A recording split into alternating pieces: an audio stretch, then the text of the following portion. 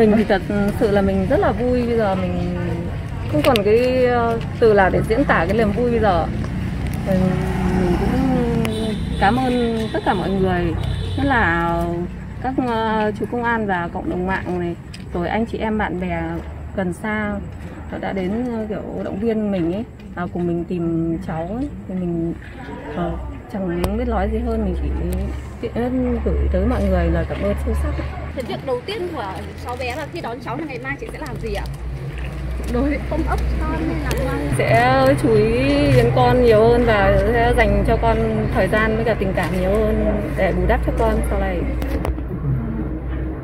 Từ lúc mà công an tìm được cháu ấy thì chị được nói chuyện với con chưa ạ? chưa bé nhà mình chưa về đến đây Vâng nhưng mà có gọi điện qua điện thoại ấy ạ, qua điện thoại hoặc qua FaceTime mà. chưa gọi bố cháu chưa nhấc máy À, thế là bố cháu đang đi cùng ờ, đang các đi đồng chí công an à? các đồng chí công an trên đấy ạ À. Vâng ạ. Chị biết tin là tìm thấy con lúc mấy giờ ạ? thật ra thì mình biết tin ở trên Facebook mọi người còn biết trước cả mình cơ Ừ. Đấy, thấy mọi người đăng ở trên Facebook thì mình mở ra mình thấy niềm tin ở trên đấy rất các bạn chia sẻ là đã tìm thấy con mình ấy mình từ lúc đấy là mình thật sự là cái niềm vui nó không còn gì để tả tả được nữa trong như vậy là cái ừ, vui mừng và phấn khởi cũng là hồi hộp.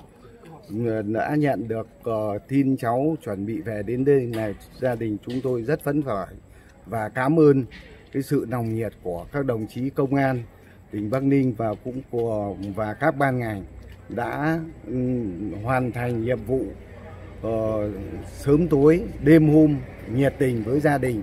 Thế này là chúng tôi Ừ, không biết nói gì hơn. Xin chân thành cảm ơn các đồng chí. Gia đình nhà tôi rất là phấn khởi và rất là cảm biết rất là cảm ơn tất cả các, các đồng chí. Công an đã hết sức tìm được cho cháu cho gia đình mang về hạnh phúc cho gia đình của chúng tôi. Và xin cảm ơn.